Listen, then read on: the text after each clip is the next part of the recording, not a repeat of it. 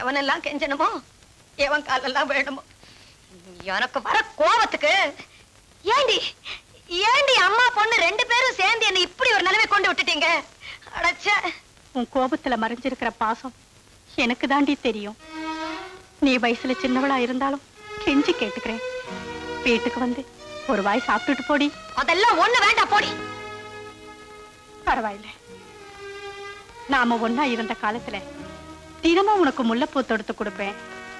நீயும் வச்சுக்குவேன் அந்த ஞாபகத்துல இப்போ வீட்டுல பூத்த பூவை தொடுத்து எடுத்துட்டு வந்திருக்கேன். இதையாவது வச்சுக்கோமா